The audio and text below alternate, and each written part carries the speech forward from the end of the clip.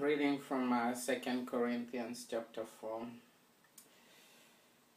And I'll read from uh, uh, verse 13.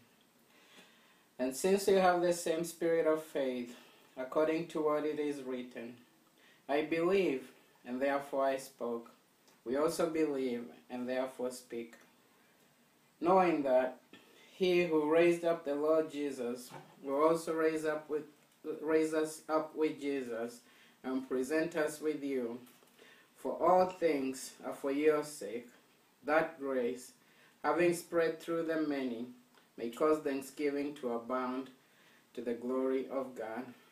Therefore, we do not lose heart, we, even though our outward man is perishing, yet the inward man is being renewed day by day. For our light affliction, which is but for a moment, is working for us as a far more exceeding and eternal weight of glory. For we do not look at the things which are seen, but the things which are not seen. For the things which are seen are temporary, but the things which are not seen are eternal.